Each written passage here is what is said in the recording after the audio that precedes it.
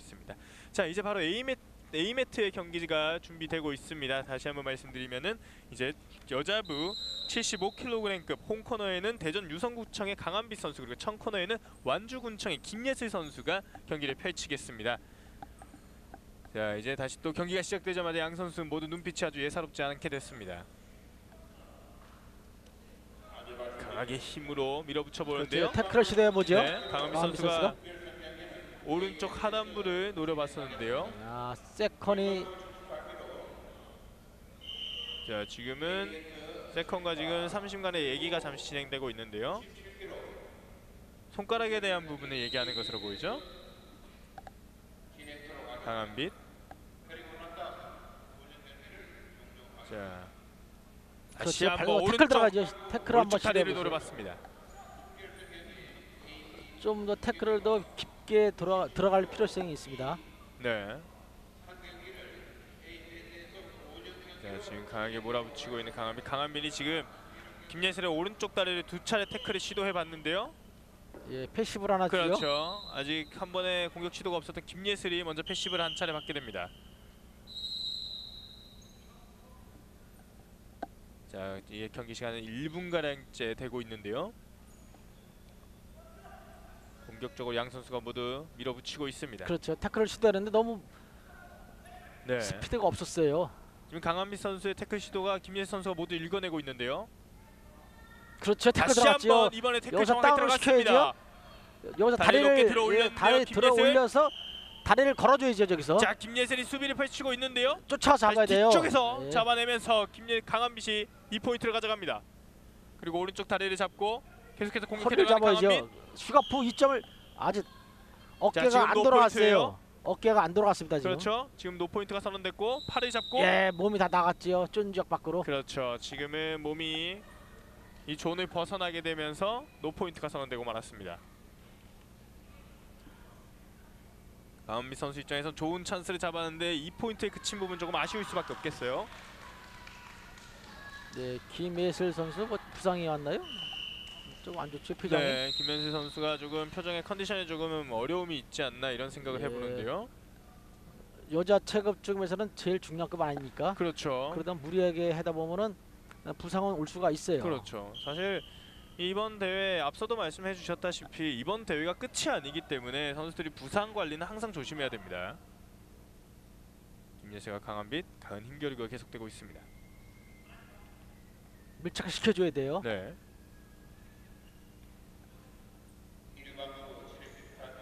아무래도 요 전 게임 53kg급 선수들보다 어, 지금 75kg급 선수들이 아무래도 둔하죠. 네. 하지만 역시 또 파워적인 부분에서는 가장 강점을 가진 것이 또 75kg급이 아닌가 그렇죠. 싶은데요. 어, 여기서 어, 상대방의 기술만 정확히 걸리면은 폴과도 바로 연결이 될 수가 그렇죠. 있는 체급들이니까요. 큰 기술도 충분히 기대할 수 있는 책을 바로 이 75kg급인데요. 이제 남은 시간은 30초가 되지 않습니다. 여기서 강한빛이 다시 한번 passive를 해봤습니다. 양 선수가 한 차례씩 passive가 있습니다. 자, 양 선수가 지, 강하게 진행하고 있는데요. 강하게 몰아붙이고 있습니다. 다시 한번 다리 걸기를 시도해봤던 김예슬. 다시 한번 하초 쪽을 노려보는 강한빛. 강한빛은 계속해서 이제 김예슬의 오른쪽 다리를 노려보고 있습니다. 움직여야죠. 가만히 네. 있으면 안 돼요. 예, 한 팔을 잡았으면은 밀고 나갔어야죠. 자 1회전이 이렇게 종료가 됩니다. 1회전 종료 강한빛이 2대 0으로 앞선 채로 1회전이 종료되고 휴식 시간을 갖게 됩니다. 자, 강한빛 선수가 결국 계속해서 오른쪽 다리를 노리던 그 태클이 한 차례 들어가면서 점수를 2점을 따게, 따게 됐습니다. 김예슬 선수 입장에서는 조금 컨디션이 난조가 보이긴 합니다만 과연 이제 2점 차기 컨디션이 때문에 별로 좋아 보이지 않는 것 같아요. 네. 하지만 여기서 2점 차기 때문에 들어서 여기서 이제 득점과 연결하죠. 네. 득점과 연결하면서 어디 충격이 있을 수도 있어요. 네, 지금 떨어지면서 그렇죠. 워낙 큰 몸들이니까 자, 하지만 경기는 일단 진행할 수 있는 것으로 보이고 두 선수 모두 경기장을 다시 들어가고 있습니다. 2회전 강한빛과 김예슬 2회전이 시작되겠습니다. 자, 강한빛과 김예슬 2점 차기 때문에 언제든지 네. 역전이 될 수가 있어요. 지금 어떻게 될지는 확인이 불가능한 거거든요. 자, 강한빛, 김예슬. 좀 공격은 강한빛 선수가 적극적으로 나오고 있는 것 같아요. 네, 저기서 주심은 태클을 자꾸 유도하기 위해서 자꾸 선수들한테 액션을 취해줘야 그렇죠. 돼요. 지금 동일하게 다시 한번 오른쪽 다리에 노려본 다리를 뒤로. 쭉 뻗어줘야죠. 예, 김예슬 선수는 다리를 뒤로 쭉 뻗어주고 끌어줘야 돼 앞으로. 자, 강한빛이 일단은 발에 빠져 나오면서 본인이 오히려 상위 포지션을 가져갑니다. 그렇죠. 뒤쪽에서 백을 잡는 강한빛 이렇게 two point 더 가져가게 됩니다. 점수는 4대 0. 옆굴리기를 시도를 한번 해줘야죠. 그렇죠. 강한빛의 손이 들어갔고 그리고 손을 잡는 데까지 성공했습니다. 굴려줘야죠.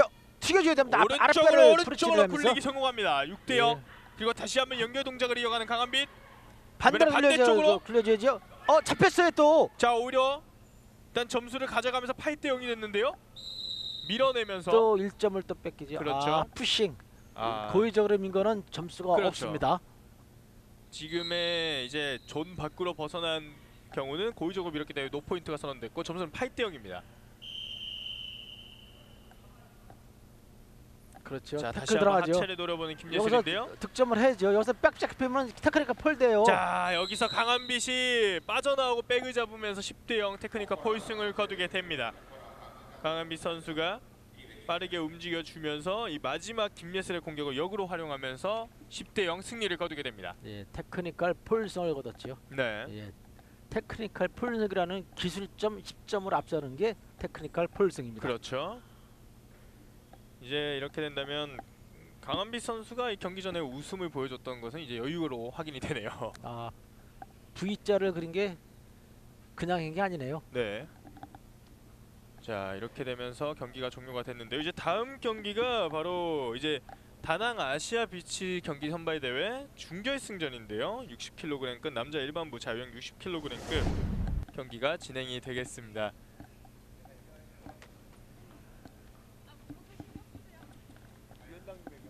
자 지금 이렇게 된다면 민형기 선수와 경기를 펼치게 되는 선수가 필요한데요.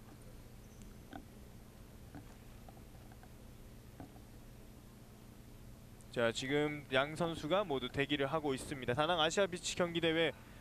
자 일단 앞선 경기 결과는 여자부 이제 53kg급, 63kg급, 75kg급 경기가 펼쳐졌는데 53kg급에서는 제주도청 김영주 선수가 우승 그리고 63kg급에서는 광주 남구청의 장은실 선수가 우승을 거뒀고 마지막 75kg급에서는 대전 유성구청의 강한빛 선수가 테크니컬 포이승을 거뒀습니다.